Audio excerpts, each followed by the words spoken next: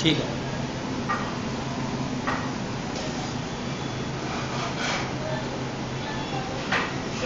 तो पक्का दस हो जाएगा।